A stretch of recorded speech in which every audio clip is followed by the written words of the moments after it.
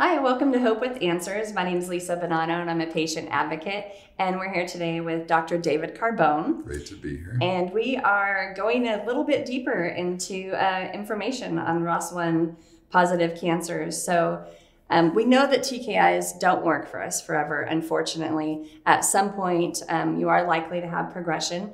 So once that happens, what is the best way to determine your next best treatment option? So just for clarification, a TKI is an abbreviation for a tyrosine kinase inhibitor. Thank you. And those are drugs that specifically target alterations like uh, ROS1. So the, the um, these drugs work for a period of time, uh, but often uh, the tumor becomes resistant to uh, these drugs.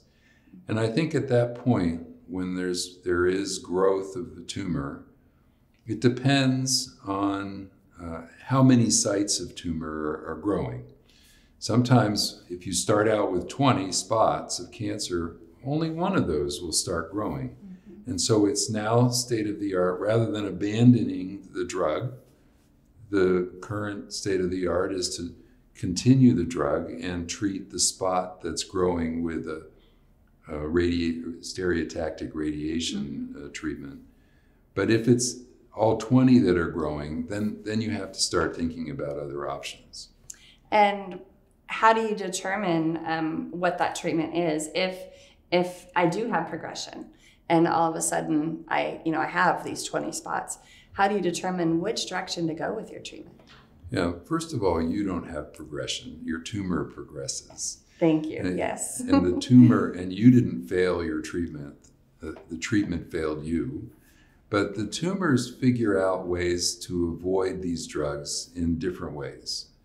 Uh, so I do think it's important if there's multi-site progression to get another biopsy Great. to look at the genetics of the tumor after the treatment, the tumor that's become resistant to mm-hmm. the primary therapy.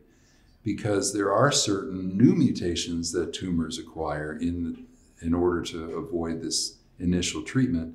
And some of the new drugs coming down the line that are approaching approval or in clinical testing now are designed to target alterations, these, these resistance mm-hmm. alterations. Mm-hmm. And so it may you may find that you're eligible for a clinical trial of one of these new drugs that gives you a second uh, shot on goal in terms of response uh, for these, uh, these types of tumors. And then there's always uh, other standard, more standard options, such as chemotherapy, mm-hmm. uh, that can be tried afterwards. But I would first investigate the features of the tumor that made it resistant so that you might be able to intelligently target those okay. and clinical trials uh, availability.